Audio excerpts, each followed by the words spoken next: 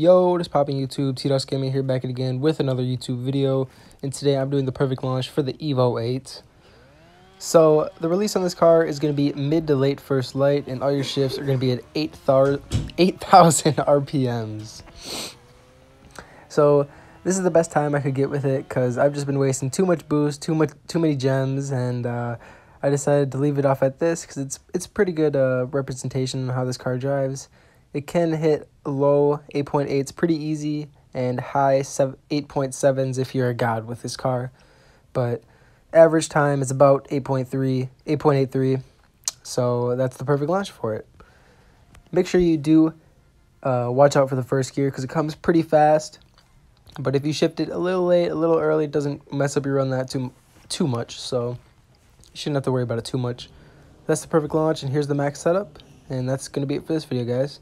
Make sure you guys like, subscribe, hit that bell, and comment down below what car you guys want to see next for a tune, max setup, or a perfect launch video.